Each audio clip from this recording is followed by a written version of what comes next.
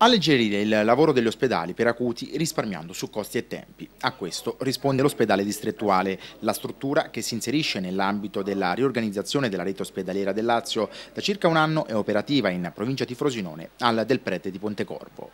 L'ospedale distrettuale o Casa della Salute è rivolto sia a pazienti appena dimessi dagli ospedali canonici sia a quelle persone che a casa non riescono a soddisfare le loro necessità sanitarie ma che non necessitano comunque di un ricovero nei nosocomi tradizionali. Il tutto con l'apporto fondamentale dei medici di famiglia. La struttura di Pontecorvo è dotata di ambulatori specialistici e anche di un reparto di degenza con 15 posti. Noi abbiamo pazienti che vengono dagli ospedali per acuti e dalla medicina eh, di base.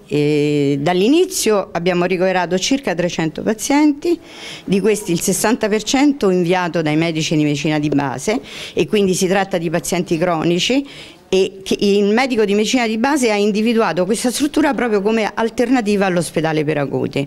Il 40% ci è stato inviato dagli ospedali. Importante novità, la degenza viene gestita direttamente dai medici di base. Direttamente da noi, sia nelle decisioni cliniche sia nelle decisioni organizzative nel senso eh, del ricovero, della terapia, della dimissione e di tutto quello che può servire in questa fase. Possiamo dire, direttore, che si va a superare quella dicotomia fra cuore ambulatoriale e cuore ospedaliere? Sì, sì, esattamente.